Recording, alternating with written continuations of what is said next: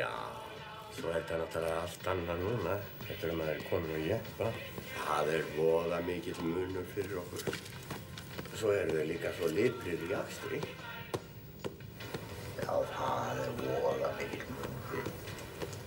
Liprið í akstri sem. Já, svona líka. Sjögu? Það munar öllu. Já.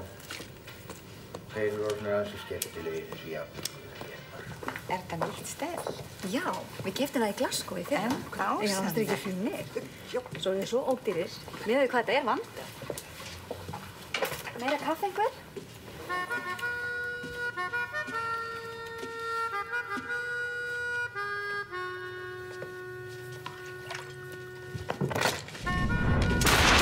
ekki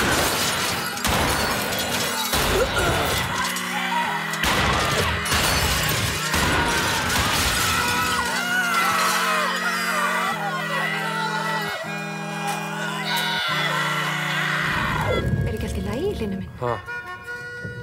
Nei, þú segir ekkert. Hvað segir þú? Bara, allt gott. Ég var bara að spá í, í, í sófan. Hvað kostaði hann? Hvað kostaði sófinn? Guðmingur, það man ég ekki. Maggi, mannst þú það? Langaði til að kaupa sófalínur? Já, þetta er skemmtilegu sófi. Svo sem þægilegt að sitja í honum, sko, og munar öllu. Heldur þú komir honum fyrir hemmi á með meðni?